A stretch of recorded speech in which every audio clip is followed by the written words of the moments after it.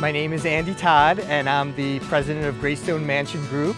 We're the owners of Greystone on Hudson in Westchester County. It's a 100 acre enclave with 21 grand homes priced from 4 million to 20 million dollars. This was the site of the historic Greystone Castle. Greystone Castle was owned by Josiah Macy, who was John D. Rockefeller's partner in Standard Oil.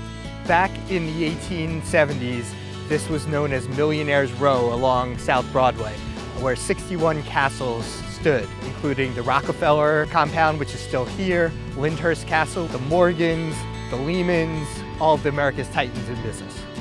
We purchased this land in 2012 and when we came here, it was just the woods with fallen trees and just a wreck. But when you looked around through it, you realized, wow, this was like the most beautiful place that I've ever seen. It had a winding tree-lined road that meandered up the hill to a 450 foot elevation. There was ravines and there's castles that you see in the Palisades Hills and the Tappan Zee River. And then we started building the roads and the infrastructure. And we just finished that about a year ago and we put our first home up on the market and it sold in nine days, so that was really exciting for us. We're actually in what's called the Historic Commons District, which allows us to build very tall houses as long as we keep in tune with the Gilded Age architecture. Right now we are standing on the rooftop deck of Six Carriage Trail, which is our new home, priced at $12.9 million.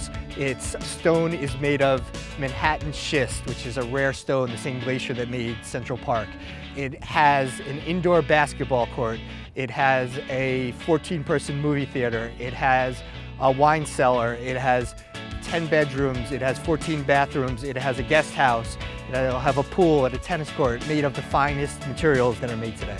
Everything that we've done with Six Carriage Trail is to make it feel like it was built in the Gilded Ages. So when you look at the stone, it's actually pillowed, which means that we have masons who actually mine the stone on the site, they take it, they chip it away, and they create a lot of depth. It looks like it was built 100 years ago.